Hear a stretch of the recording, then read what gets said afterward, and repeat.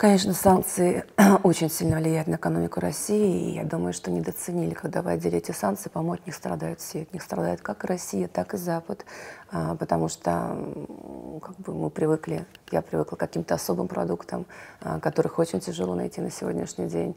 И я понимаю, что мы все перестраиваемся, мы худеем, мы там а, начинаем жить по-другому, у нас новые предпочтения, от чего-то отказываемся, но есть такие вещи, как косметические процедуры, опять же, различные инъекции, различные крема, когда твое лицо привыкает постоянно к одному крему.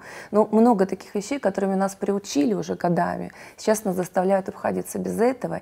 И отечественным мы просто не можем обойтись, потому что, к глубокому сожалению, все разрушено. И чтобы создавать что-то новое, на это уйдут целые годы.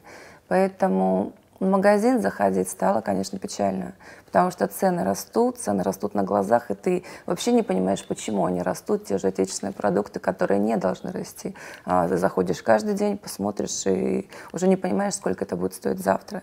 И на сегодняшний день у многих моих знакомых и начинается просто депрессия. Я вижу, что люди впадают в панику, в истерию, потому что э, не просто нет уверенности в завтрашнем дне, а ты не знаешь вообще, как завтра проснуться и на что жить, и вообще у тебя никаких мыслей по этому поводу нет. И самое страшное, что пропала какая-то вера, пропала надежда. А без надежды мы не можем жить. Поэтому я всегда, когда встречаюсь с своими знакомыми, говорю, что все равно от нас ничего, мы лишь пешки в этой игре, от нас ничего совершенно не зависит. Поэтому в этой ситуации главное взять себя в руки, никакой паники, никакой истерии.